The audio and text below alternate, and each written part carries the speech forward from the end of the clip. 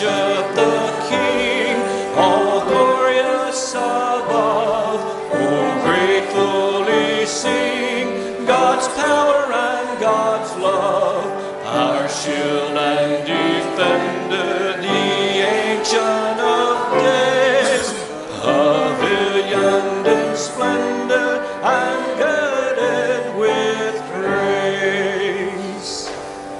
Please remain standing. We're blessed this morning to have Brady Ash here to lead us in worship this morning. So he's going to get us started. So stand with us and sing.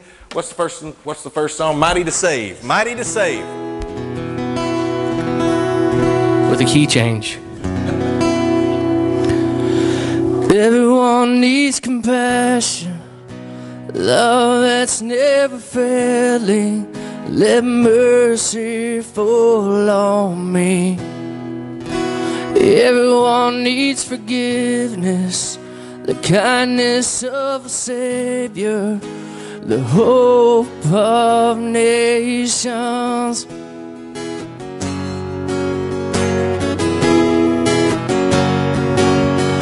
The Savior, He can move the mountains.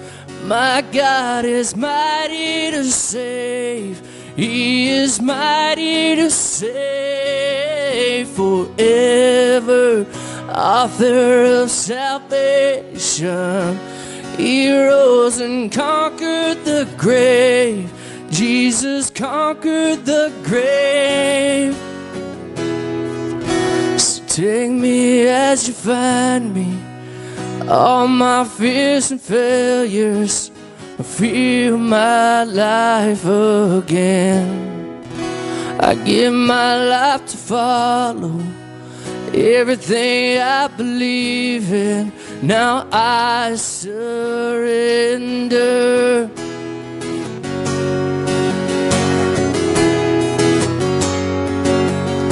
The Savior, He can move the mountains. My God is mighty to save. He is mighty to save forever. Author of salvation. He rose and conquered the grave. Jesus conquered the grave. So shine your light and let the whole world see. We're singing for the glory of the risen King. Jesus, shine your light and let the whole world see. We're singing for the glory of the risen King. Oh, Savior, He can move the mountains. My God is mighty to save. He is mighty to save forever. Author of salvation. He rose and conquered the grave. Jesus conquered the grave. So shine your light and let the whole world see. We're singing for the glory of the risen King. Jesus, shine your light and let the whole world see. We're singing for the glory of the risen King. Last time. So shine your light and let the whole world see. We're singing for the glory of there is a King. Amen. Amen. Take a moment and welcome your neighbor in the name of the Lord this morning.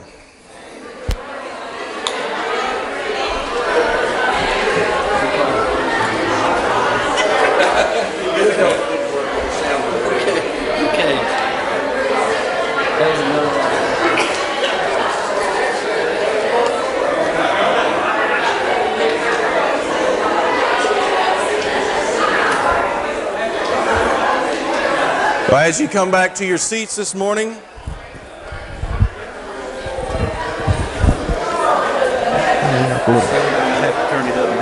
yeah. yeah. you would please turn over on the back of your bulletins. I have just a few uh, announcements as far as uh, reminders of things going on uh, in the life of the church for the coming week. Uh, first of all, we're going to be having a youth group tonight for the junior high and senior high youth. And Rhonda, correct me if I'm wrong, junior high is at your house tonight, and uh, I think senior high is over at uh, Casey and Courtney's. And we're also having our confirmation class for any of our fourth and fifth grade students uh, who want to come to that. That's at 3:30 here at the church. Uh, so we'll be doing that this afternoon as well. And then we also are continuing our pastor's Bible study on Wednesday evenings. Uh, we have a meal at 6 o'clock, and then we're following Jesus through uh, his time in Jerusalem leading up to the crucifixion and the resurrection uh, from 6.30 to 7.30 on Wednesday evenings. So if you want to come and join us for that, uh, we'd love to have you. Uh, are there any other announcements going on? I know we have a playoff basketball game, I think, tomorrow evening in Hamilton at 8 o'clock. Uh, boys play, so that's something going on in the community. Or is there anything else that we need to announce this morning?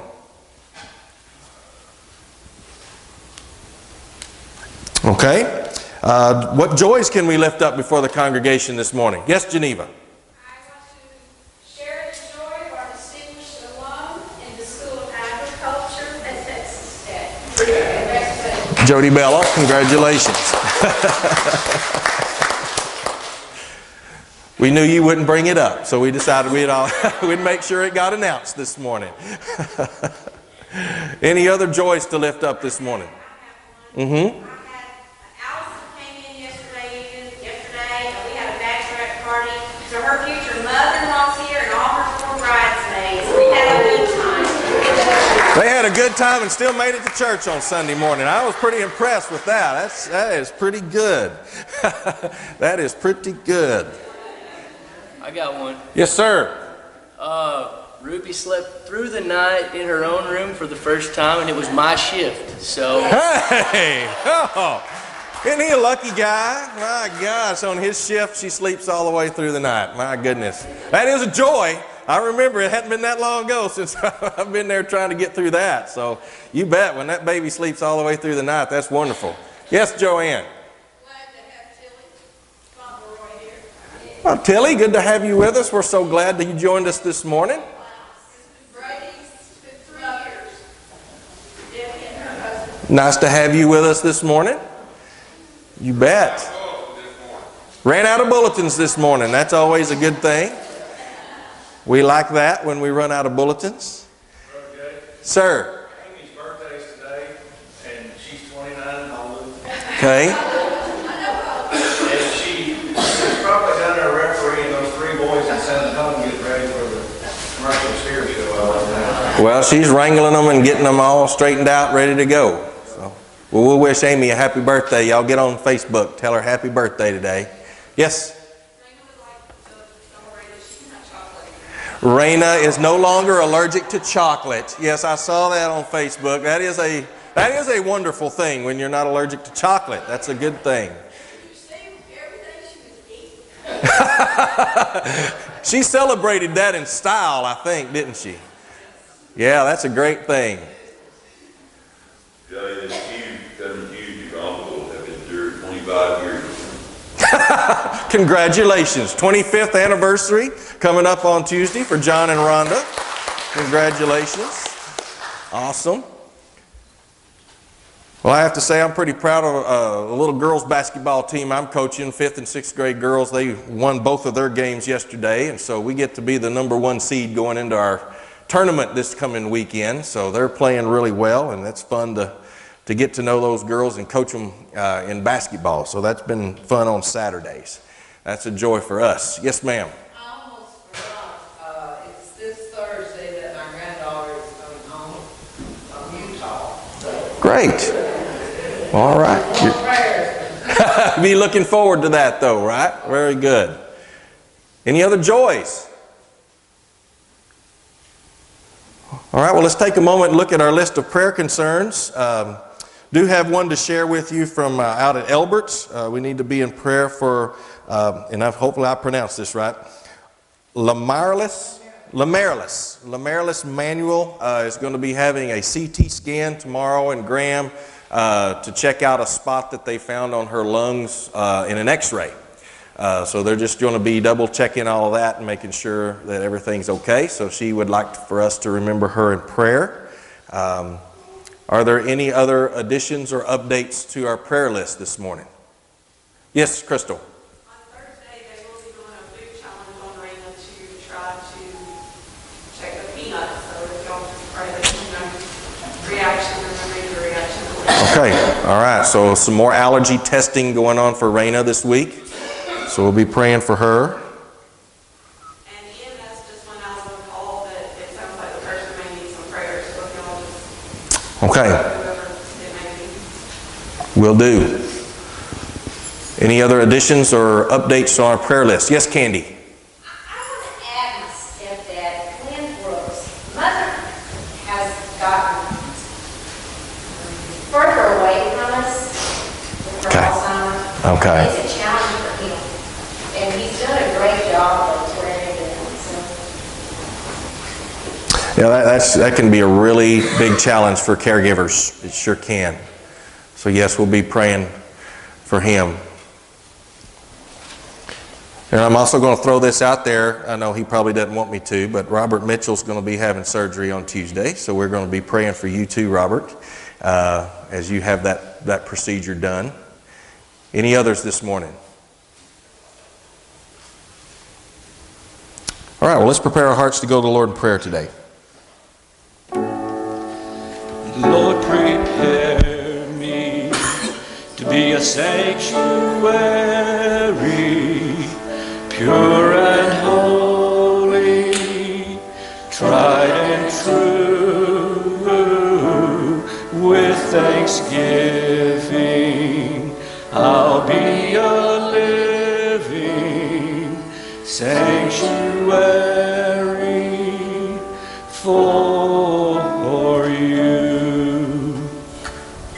Let's pray. God, we come to you and we're just so thankful for this beautiful day you've given us, this day that we can come into your house and fellowship with each other, sing praises to you, hear your word. We pray that you would just open our hearts and minds to receive the word that you have for us today. May it be a word that would challenge us, renew us, remind us of our place in this world as your disciples and of our mission as your church. Lord, we thank you for all the many blessings, all of the joys that have been lifted up this morning. We give you praise and glory for each and every one of those things. Help us to never take the good gifts that you give us for granted, but to always give you thanks and praise for the blessings in our lives. And we lift up these this morning who are on our prayer list. We pray that you would be with them in the way that they need you the most right now, Lord. It may be a touch of healing that they need in their lives emotional healing, physical healing, spiritual healing. So help them to feel your presence in a tangible way this morning. Lord, it may just be that they need to feel your comfort and your presence with them today. And so we pray that they would have that, that they would feel your presence with them this morning. God, we pray for Lamarlis Manuel. As she has her CT scan tomorrow, we pray that that CT scan would show that there is nothing to fear in her lungs, that there's nothing there to worry about. Lord, we pray as Raina has her test this week, allergy test, that she would find that she's not even allergic to peanuts anymore. And she doesn't have to worry about that, Lord. We pray for the call that just went out to our EMS this morning, whoever that might be, that uh, you would guide and direct those EMTs and paramedics to make the best decisions that can be made for the care of that individual. We pray for Glenn as he cares for Candy's mom. We just pray that you would surround him with people who can give him the support and the help that he needs, that you would give him a time of rest as he cares for her. And Lord, we pray for Robert as he has his surgery on Tuesday. We pray that that would go smoothly with no complications and bring fast and quick healing into his body so that he can get back home and doing the things that you've called him to do. God, we pray for this community. We pray for those this morning that that woke up today and without any thought whatsoever of coming into your house or even knowing who you are. We pray that you would help us as your disciples through our actions to be a light and a witness to them. We pray for our nation. Lord, as we near or come near another election, Lord, we pray that you would raise up men and women who, at the local level, state level, national level, who understand what it means to be a follower of you. And that they would stand firm on the truths of your word. And God, we pray for your world. We pray for those this morning who are displaced by war, famine. We pray for our brothers and sisters in Christ this day who are worshiping you in secret and in hiding for fear that they might be discovered and even killed for their faith. We pray for their deliverance. Help us never to forget them in our prayers. And when we come to those times when we don't know what to say or even how to pray, help us to remember we can always pray with confidence. The prayer you taught your disciples when you prayed, Our Father who art in heaven, hallowed be thy name. Thy kingdom come, thy will be done, on earth as it is in heaven.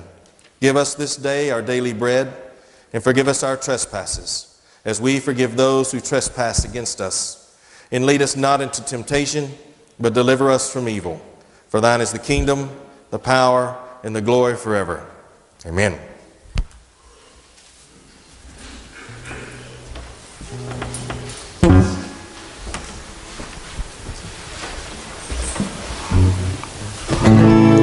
If you want to, let's be standing for this tune. I know I couldn't sit still for this one. Blessed be your name in the land that is plentiful, where your streams of abundance flow. Blessed be your name.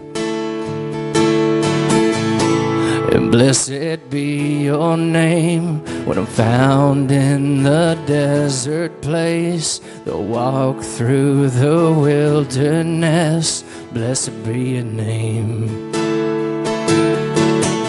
Every blessing you pour out, I'll turn back to praise. When the darkness closes in, Lord, still I will say, Blessed be the name of the Lord, blessed be your name. Blessed be the name of the Lord, blessed be your glorious name. Blessed be your name, the sun's shining down on me, and the world's all as it should be. Blessed be your name. Blessed be your name on the road marked with suffering, though there's pain in the offering.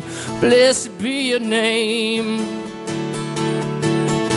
Every blessing you pour out, I'll, I'll turn back to praise. When the darkness closes in, Lord, still I will say, Blessed be the name of the Lord, blessed be your name. Blessed be the name of the Lord, blessed be your glorious name. You give and take away. You give and take away. My heart will choose to say, Lord, blessed be your name again. You give and take away. You give and take away. My heart will choose to say, Lord, blessed be your name again. You give and take away. You give and take away. My heart will choose to say, Lord, blessed be your name. Blessed be the name of the Lord. Blessed be your name. Oh, blessed be the name of the Lord. Blessed be your glorious name. Blessed be your name. You give and take away. My heart will choose to say, Lord, blessed be your name. Last time, you give and take away. You give and take away. My heart will choose to say, Lord, blessed be your name. Amen. As you be seated, let the little children come and we'll have our children's message this morning.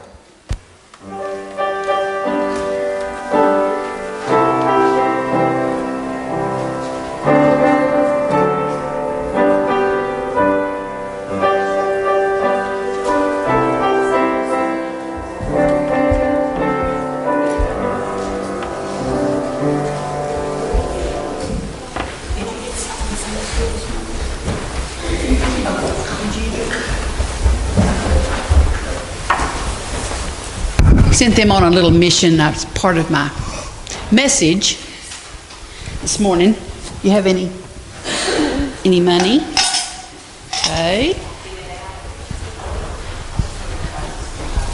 Yeah. Okay. Here you go. All right. Thank you. Okay.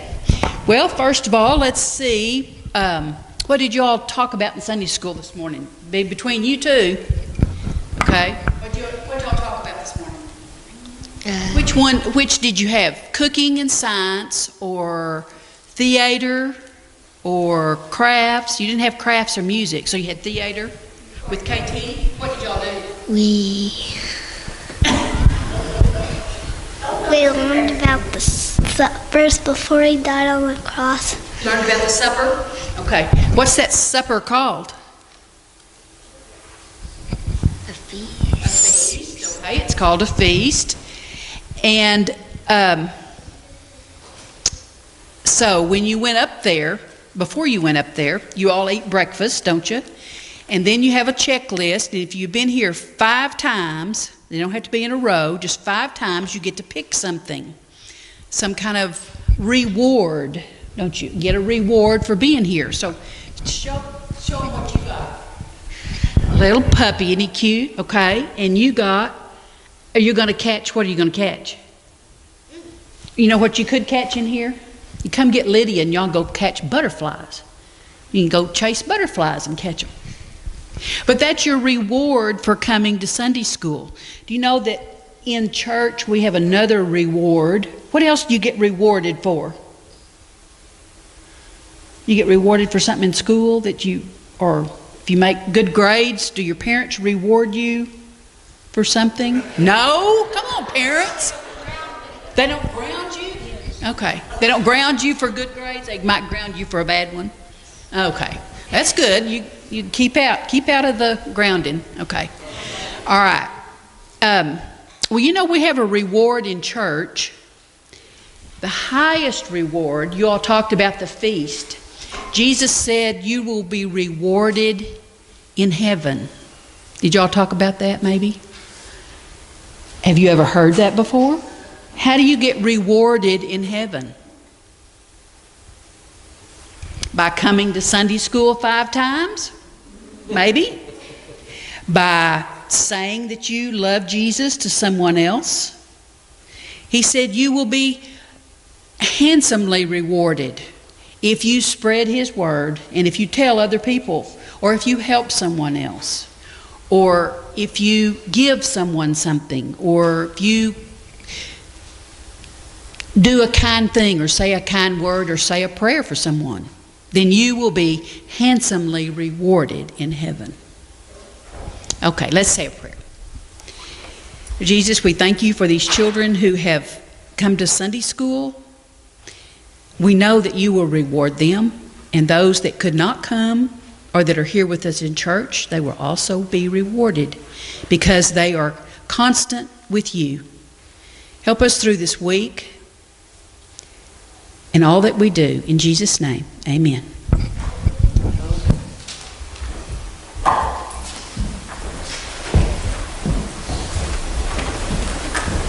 As the children are going back to their seats, if we could have some ushers gather, we'll have our morning offering.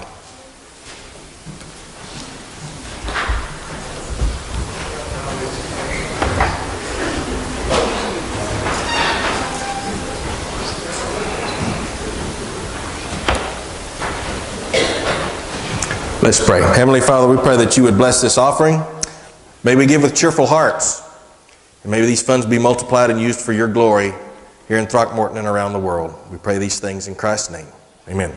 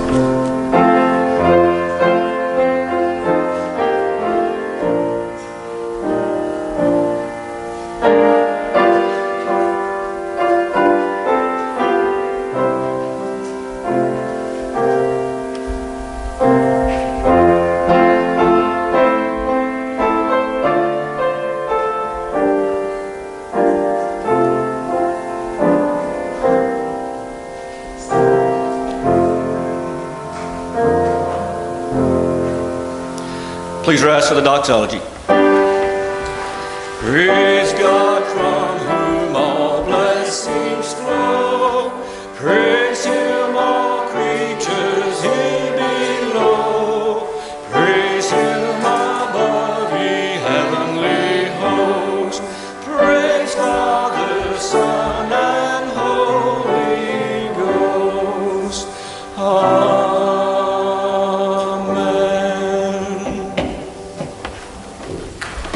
Seated.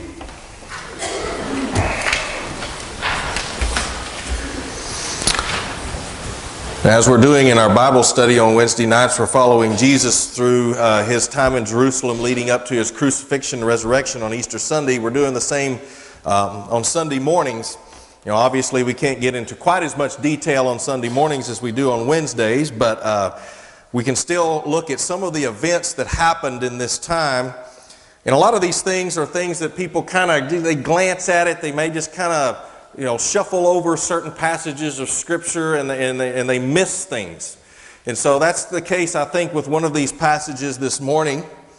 Uh, it's not one that we necessarily enjoy hearing or reading. And, you know, as God laid this on my heart to preach this morning, I was thinking, why in the world does He want me to preach about this part right here, this story in Jesus' ministry here in Jerusalem? And then I started thinking, well, I think it's good that this chapter in Matthew is here because Jesus is getting on to and basically denouncing the religious leaders of the day because they had fallen short in doing the things that God had called them as a nation to do. Jesus, you know, God originally uh, picked the nation of Israel through Abraham to be his ambassadors to the rest of the world. The nation of Israel was supposed to share the good news of God to everybody else in the world and bring the whole world uh, into faith in God. That was the kind of the overall plan. They were his chosen people to do that. But over the course of many centuries, they had continually failed to live up to that standard and had continually failed uh, to do what God had called them to do. And now, we as Christians in the New Testament era, in the New Testament church, we have kind of taken on that responsibility. God has en- entrusted us through Jesus Christ to, to be His ambassadors to the world, to share the good news of Jesus Christ with the rest of the world. And I don't know about you, but when I get to heaven one day, I don't want Jesus saying, Woe to you, Jay Gage. I would like for him to say, Well done, good and faithful servant. I don't want Jesus Christ to look at us as a congregation and say, Woe to you. I would rather him say, Well done. Wouldn't you? And so I think it's good to, to read what he had to say to those religious leaders and, and understand what these things were that they were doing wrong. And not in a sense that we're saying the same things is wrong here, not to say that we're doing these things either, but to help us not to do those things in the future. To help us to understand, oh, this is where they fall short. We've got to be careful not to slip into this ourselves as individuals and as a church. And so that's why we're going to be looking at the 23rd chapter of Matthew this morning, where Jesus pretty much just hammers down on the religious leaders uh, for all of the things that they're doing. And there's some things in here that I learned um, that help make a lot of this make sense, and I'm going to try to share that with you as we go through this passage. So we're going to be reading chapter 23 of Matthew. Hear what the word of the Lord says. Then Jesus said to the crowds and to his disciples, The teachers of the law and the Pharisees sit in Moses' seat. So you must be careful to do everything they tell you. But do not do what they do, for they do not practice what they preach. They tie up heavy, cumbersome loads and put them on other people's shoulders, but they themselves are not willing to lift a finger to move them. Everything they do is done for people to see. They make their phylacteries wide and the tassels of their garments long. They love the place of honor at banquets and the most important seats in the synagogues. They love to be greeted with respect in the marketplaces and to be called rabbi by others. Now, before we go any further here, I need to make sure everybody understands what a phylactery is. That's kind of a big word.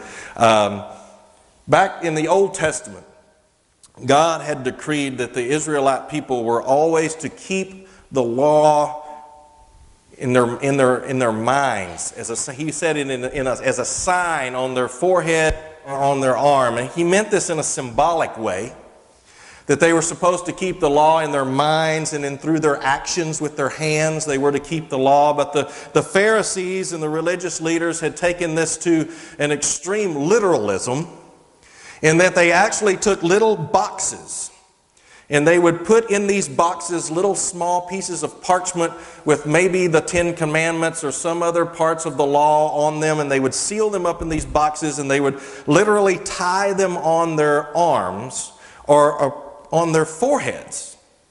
It'd be kind of like us taking the little Gideon Bibles, remember those little Gideon Bibles, and tying them on our foreheads and walking around with them tied to our heads. Oh, look at me. I'm so religious. I'm so such a good Christian. And now the Pharisees too, they were really bad because they made their boxes really big and uh, you know decorated with all this gold and everything. And and they had these. It, doesn't that look? Wouldn't that be funny? I mean, I think it's hilarious to see these guys walking around with these big boxes tied on their heads and wanting everybody to look at them and see how religious they were. And then they had these prayer shawls that had these long tassels on them. The longer and more elaborate the tassels were, the more religious and pious and, and, and orthodox you were. And so they, they, this is what Jesus is saying. You know, they just want to be seen. It's all about the outward appearance. And then he continues on. He says, But you are not to be called rabbi, for you have one teacher and you are all brothers. And do not, on, do not call anyone on earth father, for you have one father, and he is in heaven. Nor are you to be called instructors, for you have one instructor, the Messiah. The greatest among you will be your servant. For those who exalt themselves will be humbled, and those who humble themselves will be exalted. Just exactly the opposite of everything that they were attempting to do.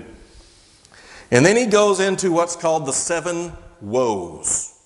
You know, woe to you. You know, that was not a very good thing to have said to you in those days.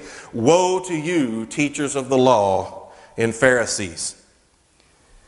You hypocrites. You shut the door of the kingdom of heaven in people's faces. You yourselves do not enter, nor will you let those enter who are trying to. What in the world is he talking about there? You know, the Pharisees believed that to do God's will was to observe the law. And not only the law, but all of the little petty rules and regulations that they had added to the law over the centuries, which numbered in the thousands. Okay, you had to follow all of these little rules and regulations in order to be a part of the kingdom. That's not what the kingdom of God is about. You know, the basic premise of the kingdom of God is love. Simple. Love the Lord your God with all your heart, mind, soul, and strength. Love your neighbor as yourself. That's the essence of the law. But when the people would try to do their best to be a part of the kingdom, the Pharisees would present them with all these rules and regulations, just, you know, essentially just slamming the door in their face. Because there's no way anybody could keep all those. Even he says the Pharisees didn't do it. You know, you yourselves don't even follow all these rules and regulations. So how can you expect anyone else to? So they were, they were pushing people away with all these rules and regulations. Now, surely that wouldn't happen in the church today, would it? I wouldn't think so. But at the same time, I wonder. You know, it hadn't been too many years ago that I probably would get in trouble for standing up here dressed like this as your pastor. You know, it's kind of forgiven now, but it used to be there was a pretty strict dress code in the church, wasn't there? You know, and I was supposed to be standing up here in my coat and tie, you know, or robe. You know, if you really want to get strict about it, your robe with your stole and all that stuff, you know, and, and, and if people didn't have the proper dress, then they were kind of looked at funny when they came into the church. We, we luckily, thankfully, we're, we're, we've moved away from that in a lot of ways because it's not, it's not about that, is it? And then he goes on in the second one, he says, Woe to you, teachers of the law and Pharisees, you hypocrites! You travel over land and sea to win a single convert. And when you have succeeded, you make them twice as much a child of hell as you are. Ouch! Man, he's not mincing words here, is he? You know, and what's he saying here? You know, Jews were persecuted in that day. You know, the Jews would not take part in all of the pagan rituals and festivals and all this stuff, and so they, they looked down upon them. They were, they were hated by all the other cultures of that day and age. Yet at the same time, there was this, uh, there was this thing about Judaism that was appealing to some people. You know, the Jews had a very strict moral code, and some people really were attracted to that, living in a culture that was very immoral and corrupt. And they kind of they kind of liked that part about it. This, this notion of there just being one God instead of hundreds of gods was kind of appealing to some people. And so there were Gentile people who converted to Judaism during this time. But the problem was is that oftentimes when they would convert from paganism to Judaism, they would become even more fanatic about following the law and the rules and regulations than the Pharisees who had converted them. I mean, they got on fire for this new religion that they had. And the problem then is what Jesus is saying is, is the Pharisees, they weren't so much interested in leading others to God as they were more interested in making more Pharisees. See the difference? You know, and he's saying, you guys are going out there winning converts and turning them into you instead of bringing them to me and making them have a relationship, or having them have a relationship with me. And I know today we don't seek to convert people to Judaism, but we have missionaries that go out into the world and are hopefully making disciples of Jesus Christ. You know, one of the dangers we have to beware of, we have to be careful of, is that uh, we don't want to be out there making, you know, I know this, sorry this offends anybody, but we're not out there to make more Methodists or more Baptists or more Presbyterians. We're out there to make disciples. In, in, in my you know, if I'm ministering to somebody, if I'm witnessing to someone and I lead them to Jesus Christ, I'm going to be really thrilled if they choose to come and worship with us here in our church, but I'm not going to judge them if they go choose to worship somewhere else. Because it's more about having a relationship with Jesus than going to a particular building on Sunday morning. But that's not, the Pharisees had lost that. They had lost that whole uh, concept and they were more interested in making more Pharisees than they were disciples. And then he says, Woe to you, blind guides! You say, if someone swears by the temple, it means nothing, but anyone who swears by the gold of the temple is bound by that oath. You blind fools, which is greater, the gold or the temple that makes the gold sacred? You also say, if anyone swears by the altar, it means nothing, but anyone who swears by the gift on the altar is bound by that oath. You blind men, which is greater, the gift or the altar that makes the gift sacred? Therefore, anyone who swears by the altar swears by it and by everything on it. And anyone who swears by the temple swears by it and by, and by the one who dwells in it. And anyone who swears by heaven swears by God's throne and by the one who sits on it. Now, this is a really long way of basically saying, you know, if you're going to swear an oath, keep it. Because the Pharisees and the religious leaders had gotten really good at figuring out ways to swear something to somebody and have a little back door and a little way out of it if they could get it. To evade that oath. You know, so they would swear by this or by that, knowing, thinking that they could get out of that oath if they, if they needed to. And Jesus is saying, you know what? First of all, probably shouldn't be swearing oaths, period. But if you're going to swear an oath, God hears it, He knows your heart, and you better keep it. It's really as simple as that. If you swear an oath, you keep it. And then he says, Woe to you, teachers of the law and Pharisees, you hypocrites!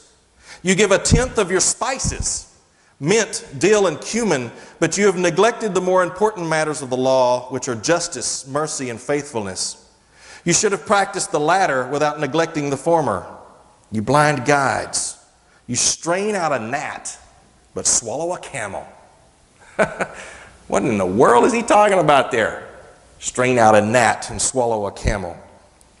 Now, the Pharisees were so absolutely meticulous about tithes that they would tithe even a tiny clump of mint. You know, mint, dill, and cumin were spices used in people's kitchens. I mean, they're not going to grow a whole lot of that stuff. But they would tithe every little piece of that. Can you imagine bringing that to the altar, just your little piece of mint? Here's my tithe of my mint. And yet, these same men could be guilty of corruption and injustice. They could be hard and arrogant and cruel, forgetting the claims of mercy. They could take oaths and pledges and promises with the deliberate intention of evading them. In other words, many of them kept the trifles of the law and forgot the things that really matter. And unfortunately, that spirit isn't dead. There are many who wear the right clothes church, carefully hand in their offerings, adopt the right attitude at prayer. They're never absent for Holy Communion, and yet they're guilty of being irritable, bad tempered, selfish with their money, not doing their honest share of the work. There are people who are full of good works, who serve on all kinds of committees, yet whose children are lonely for them at night. There's nothing easier than to observe all of the outward actions of religion and yet be completely irreligious. There's nothing more necessary than a sense of proportion to save us from confusing religious observances with real devotion. And that's where the story of the gnat and the camel come in. You know, the Jew, they were very particular about what was clean and unclean. And they would take wine and they would strain it through like, like cheesecloth. They would strain it through that into a cup just to make sure there was nothing unclean in it. And so they would be so meticulous, even this little flying insect, this little gnat, they would make sure that they got all of those out of there before they drank the wine, and yet they would ignore justice and mercy, just like they'd swallow a camel and worry more about the gnat. That's where that little phrase comes in. He says, Woe to you, teachers of the law and Pharisees, you hypocrites! You clean the outside of the cup and dish but inside they are full of greed and self indulgence. Blind Pharisee. First clean the outside of the cup and dish, and then first clean the inside of the cup and dish, then the outside also will be clean. Now, I told you they had lots of rules and regulations, lots of little things you had to follow. Listen to just a sample of this. Okay. An earthen vessel that is hollow becomes unclean only on the inside and not on the outside. And it can only be cleansed by being broken. That was one of their rules. The following things could not ever be unclean a flat plate without a rim, an open coal shovel, a gridiron with holes in it for roasting grains of wheat. On the other hand, a plate with a rim, or an earthen spice box or a writing case, those can become unclean. Of vessels made of leather, bone, wood, and glass, flat ones do not become unclean, deep ones do. If they are broken, then they become, they become clean again. Any metal vessel which is at the same time smooth and hollow can become unclean. But a door, a bolt, a lock, a hinge, or a knocker can never become unclean. If a thing is made of wood and metal, then the wood can become unclean, but the metal can't. Isn't that crazy? And these regulations seem crazy to us, yet these are the same regulations they kept meticulously. And what was crazy is that it didn't matter to them what was in the cup. It didn't matter what was in the cup. It could have been obtained by cheating, extortion, theft, it might be poison. As long as the cup was clean, then it didn't matter. Totally backwards the way it should be. Jesus is saying, you know, clean the inside first. It's not about what you look like, it's about what's on the inside. And we don't get this. We think this is so foreign to us, yet churches can get into this too, can't we? I mean, I've literally seen churches nearly split over the color of the carpet in the sanctuary. Or, Lord, forgive me, put a screen and a projector up in the sanctuary. Or have, or have somebody leading worship with a guitar instead of the organ. You know, we can get so caught up and all these little outward things that we don't even pay attention to what's going on on the inside of things. We got to be careful. We don't want to fall into that same trap. He says, Woe to you, teachers of the law and Pharisees, you hypocrites! You're like whitewashed tombs, which look beautiful on the outside, but on the inside are full of the bones of the dead and everything unclean. In the same way, on the outside, you appear to people as righteous but on the inside, you are full of hypocrisy and wickedness. And what's he talking about there with whitewashed tombs?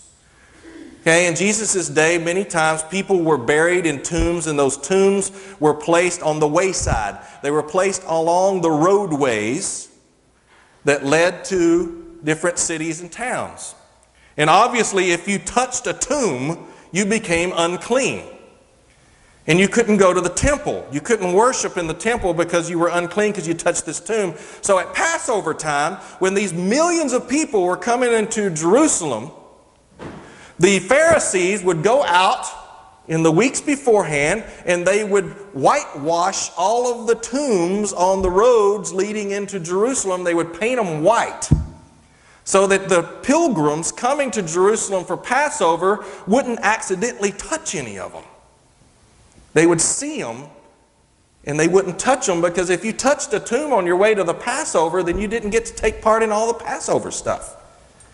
And so that was done as a warning, okay, to show them that this is not a clean thing. You don't want to touch this. And Jesus is saying, You guys are just like those whitewashed tombs. You look so pretty on the outside, but on the inside, you're full of dead stuff. And it can still happen. People can walk with bowed heads and reverent steps and folded hands in the posture of humility and all the time be looking down on people that they regard as sinners. Their very humility may be the pose of pride instead.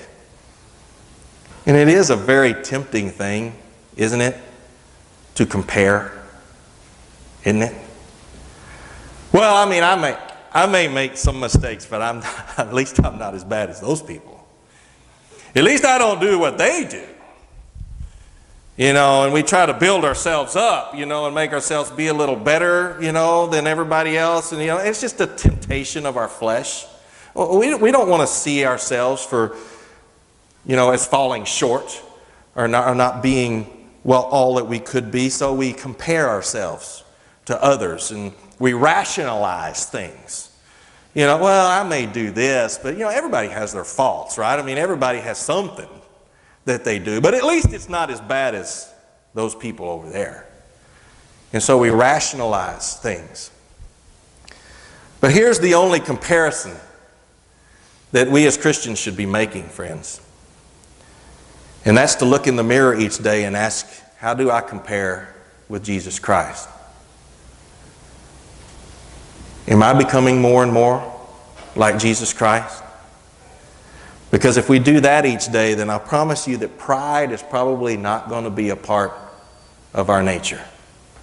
Because we're always going to see things within ourselves that we need to work on in order to be more and more like Jesus. And it's going to be a lot harder to judge others if we do that. And finally, he finishes by saying, Woe to you, teachers of the law and Pharisees! You build tombs for the prophets and decorate the graves of the righteous, and you say, Now, if we had lived in the days of our ancestors, we, have, we would not have taken part with them in shedding the blood of the prophets. So you testify against yourselves that you are the descendants of those who murdered the prophets. Go ahead then and complete what your ancestors started. You snakes, you brood of vipers, how will you escape being condemned to hell? Therefore, I am sending you prophets and sages and teachers. Some of them you will kill and crucify, others you will flog in your synagogues and pursue from town to town. And so upon you will come all the righteous blood that has been shed on earth, from the blood of righteous Abel to the blood of Zechariah, son of Berechiah, whom you murdered between the temple and the altar. Truly I tell you, all this will come on this generation. And here Jesus is charging the Jews, telling them that the taint of murder has been in their history from the very beginning, and it's not over yet. The scribes and the Pharisees tended the tombs of the martyrs, and they, oh, they claimed, man, you know, if we had lived back in the days of Jeremiah, we, we never would have persecuted him. If we had lived in the days of, of Hosea, we never would have persecuted him. And Jesus saying, yeah, you would have. Because you're persecuting me. And you're going to persecute all the ones that I send after me. I mean, think about what happened to Paul. Think about what happened to Peter and John and all of the disciples. They killed them. Just like they did, you know, the other prophets that had come in the Old Testament. He says, from, he says that the righteous people from Abel to Zechariah were murdered. Now, why did Jesus choose Abel and Zechariah? Now, the murder of Abel, we all know that story. Genesis. Cain killed Abel. All right? The very first murder that took place. Abel was righteous in God's eyes, and Cain murdered him. But what about Zechariah? Why did Jesus choose Zechariah? Now, Zechariah's story is told in 2 Chronicles chapter 24. In the days of the king Joash, Zechariah rebuked the nation for their sin, and Joash stirred up the people to stone him to death in the temple court. So, why is Zechariah chosen? Well, here's why. This was interesting to me. In the Hebrew Bible, you know, they have the same books in the, in the Hebrew Bible that we, that we have in our Bibles. Genesis is the first book, just like it is in ours. But unlike ours, they, they put their books in a different order. And Second Chronicles is actually the last book of the Hebrew Bible. And so, by saying Zechariah, Jesus is saying that from the beginning to the end, the history of Israel is the rejection and the slaughter of those sent from God, from Abel to Zechariah. And then Jesus sends a prophecy that all of the blood of the prophets will be avenged on this generation.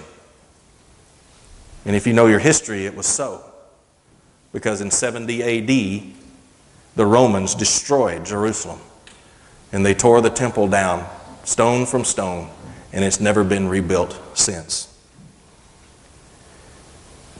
So, what does this all have to do with us? I think it just has to say to us it's a reminder.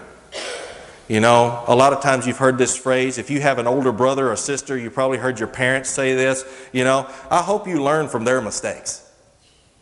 You ever heard that before? You know, do you, you see how your brother messed this up? I hope you learn from what they've done and don't do that same thing. You know, that's what we tell our kids.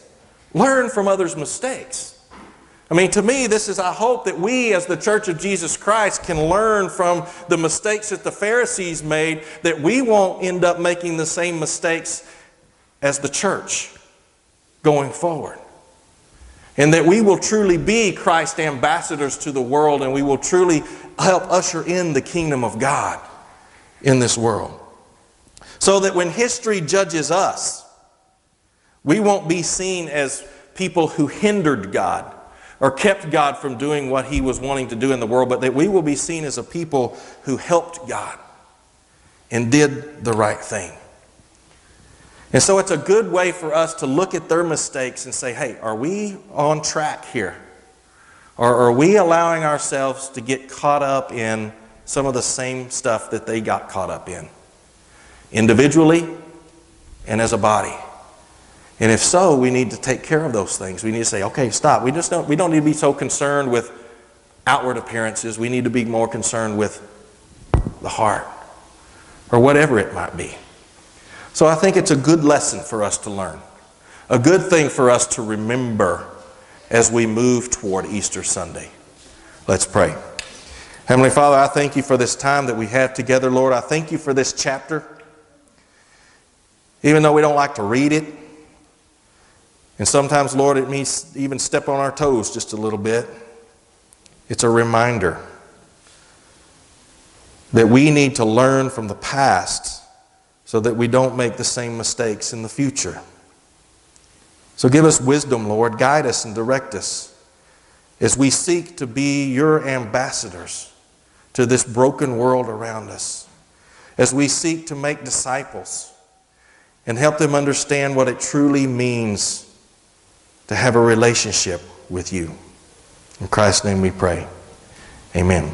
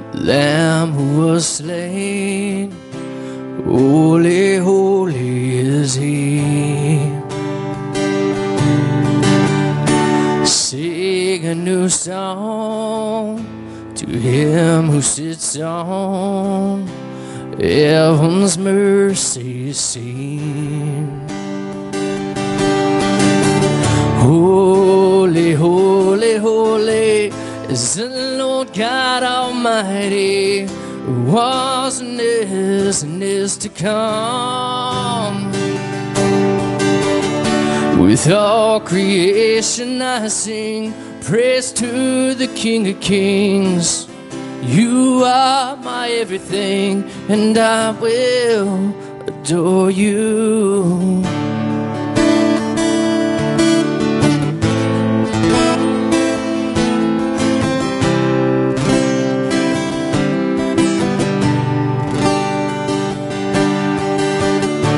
Clothed in rainbows, live in color, flashes of lightning, rolls of thunder. Blessing and honor, strength and glory forever be to you, the only wise King. Holy, holy, holy Almighty. and and is to come. With all creation I sing praise to the King of Kings. You are my everything, and I will adore you.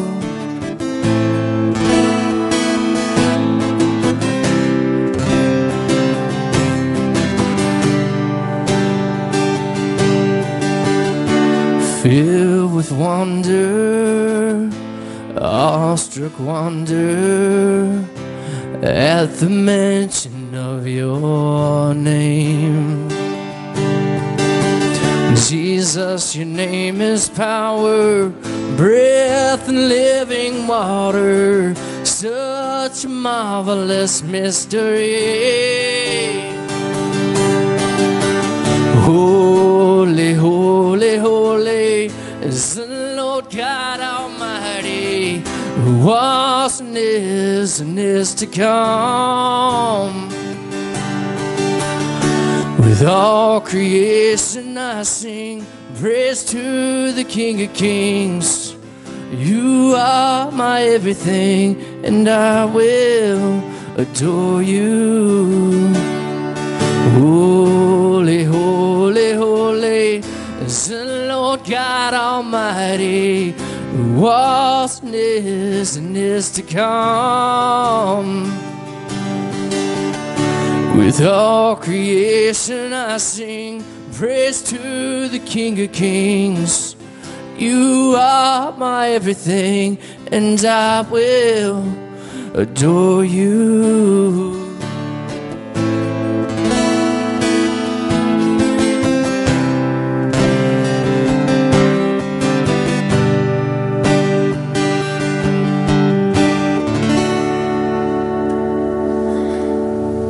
Receive this benediction.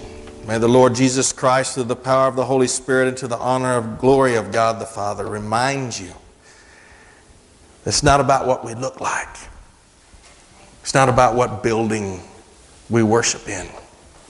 It's about having a relationship with Jesus Christ. It's an intimate, in the heart thing. That is where the kingdom begins. May it be so with you. In Jesus' name, Amen.